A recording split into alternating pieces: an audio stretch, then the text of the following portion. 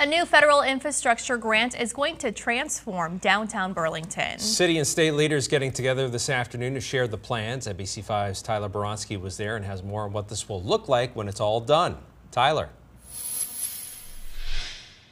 Yep, right now, well, Burlington getting one of the largest federal grants the city has ever seen. And city leaders say the changes are going to greatly improve the downtown.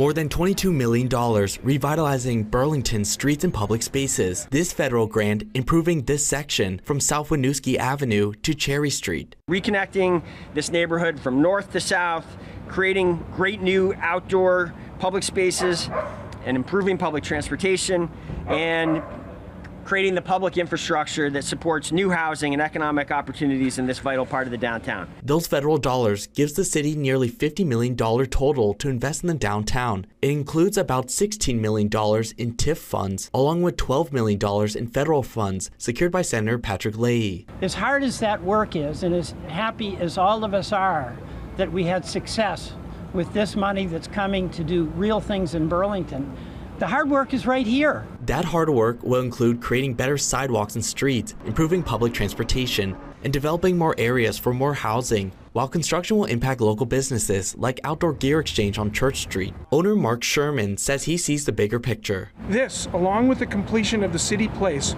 will continue to expand the shopping district beyond Church Street and in doing so bring more and more strength and diversity to the downtown shopping district and help support the many local businesses like ours that have and continue to invest in the community and make Burlington a great place to live and visit. Some of the money will also be used to create a new workforce development and job training program through the city. The focus is on low-income youth, youth of color to develop the skills in order to fill jobs in the higher paying construction industry.